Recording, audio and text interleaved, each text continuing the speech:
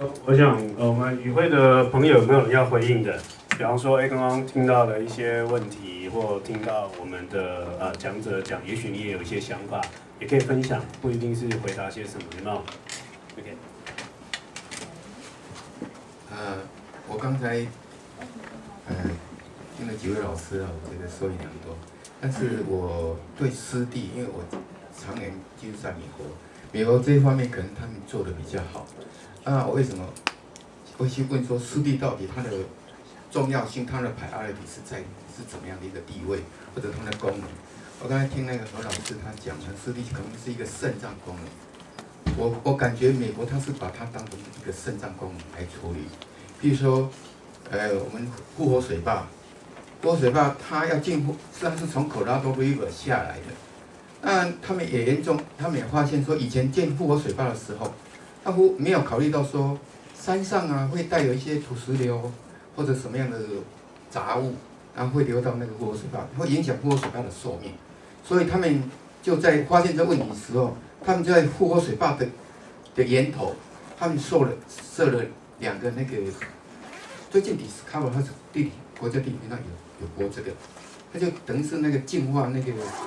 把那个水质，然后它就从旁边开了两个那个，等于是把那些杂物清理掉，源头清理掉，那个绕过那个复活水坝，排到复活水坝的下游，然后再恢复自然生态下去。那还有我最熟悉的就是我们都知道那个诶细谷。溪谷哈，它是由一个叫做安德森 Lake，还有一个叫做诶凯尔 Lake，啊，它们是这样一个组成的，所以它才变成一个细骨。那我在那里，我因为我常年在用水，所以我时常会去观察这个水源。那我感觉他们美国真的是把这个湿地当成肾脏，哎，当成我们的感的的器官，在把那个水质净化。比如说，它凯尔 Lake 它下来以后，它那边有附近有很多农田。那农田难免会有一些灌溉或者施有施一些有机肥料，那这个雨水冲刷的时候，它会到凯尔利 quick 凯尔利 Creek 来，那凯尔利 Creek 来，所以它它就会有一个湿地的地方，它经过这个湿地，它把那个水质净化以后，然后它到再到一个平面湖，那那个平面湖是它就可以变成说人工供水啊，所以这是我在美国长期观察说。他们湿地是把它当成一个净化水质的功能，啊，这是我的看法，谢谢。好，嗯，我这边也简短的回应一下哈，因为关于湿地的资料，啊，环境资讯中英网站，我们大概从零一零二年开始，每年的湿地日，哦，在二月的时候，我们都有完整的一个专题，那各位可以在上面看到，就是说所谓的功能的取向，那往往我们因为人的需求嘛。有时候我们需要说服民众或说服政府的时候，我们就会跟他讲：，哎，湿地很漂亮啊，有些野生动植物啦，或者湿地它有净化水质的功能，啊，而且净化水质的功能大家不难理解。所有的 organic，就是我们吃的吃喝拉撒睡这些东西在做啊做追肥嘛，好啊，太多就变污染，就有氧化，好啊，少一点的时候就变成肥料。好啊，所以湿地它上面有水生植物，有这些微生物等等，所有好在我们所谓处理污染，大概物理用物理方式在处理，就只有一个烧掉，哦，就烧掉就分解成二氧化碳跟水，那另外就全部都是几乎透过呃微生物，哦，就生物的这种分解的方式，所以人工湿地的这个部分本来就是在大自然界里面啊清除污染的一个过程，只是我们要不要刻意去强调它。或者它的功能要扮演到什么样的角色？那当然，在这个年代，我们也发现说，其实我们的问题主要是出现在于说，当我们认识越多，才发现说，原来有很多的事情是以前我们没有想到过的啊。比方说，像一些 DDT 的危害，现在大家觉得是很理所当然，我不要用。但是早年大概，人家会觉得你是神经病，哦，是在搞破坏，甚至是在危害人民的健康。哦，所以这个东西观念其实随着不同的改变的时候，或许我们这么讲，就是说环保团体基本上的态度都会比较保持着一个保守跟啊一个谦逊的一个态度来面对大自然，因为我们真的不知道以前在谈所谓的污染的时候是要所谓的半致死率嘛。好，各位如果念书念生物念生化有所谓半致死率，哦，那谈所谓排放标准，但是后来当我们发现环境荷尔蒙的时候，所有人傻眼。到 ppm 等级的这些 chemical 这些污染就可以影响我们人体的生理反应，尤其是这种所谓的性好的这种性器官啊这些生理的反应。所以我们以前在谈的所谓微量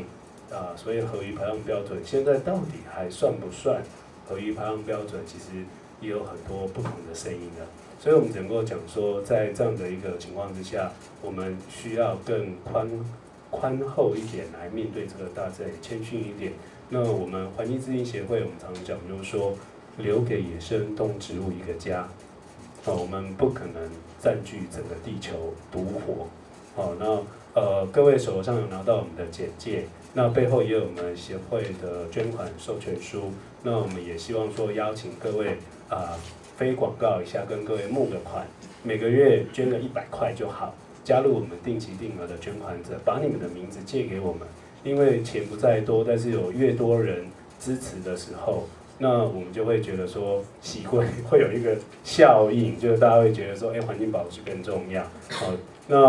呃，在这边最后呢，我们再一次感谢我们陆委会，呃，中华发展基金，呃，我们啊专委跟啊科长，啊还有我们的那个呃，应该算是承办的啊像呃。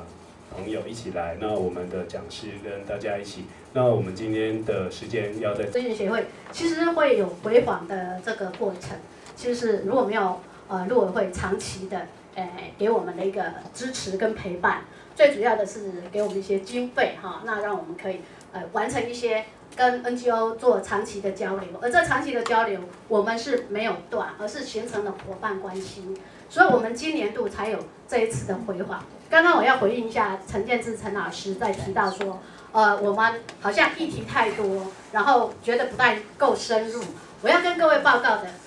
呃，我们在台南的分享的时候，呃，讲师说他们每我们在呃杭州十天的活动，每一个人可能只睡四个小时，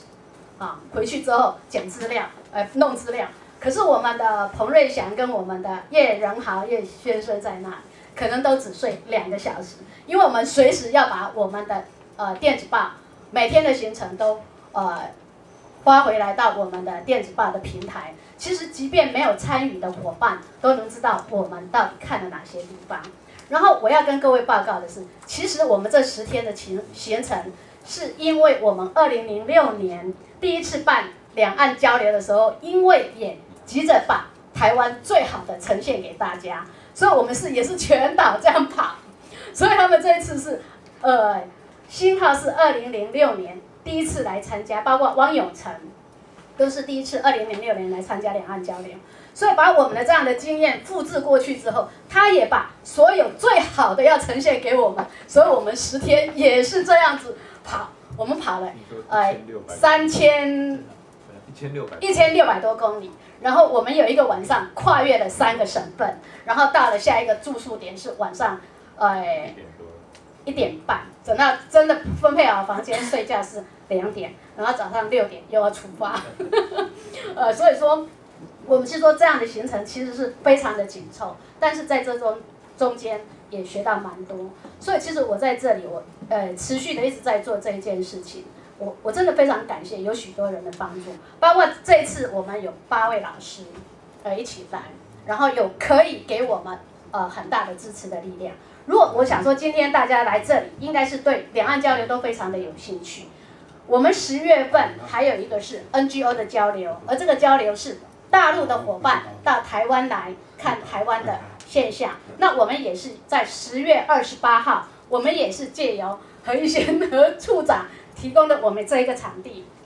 应该是会再大一点吧？啊，那在二楼哈，那我们还是邀请大陆 NGO 的伙伴到台湾来走了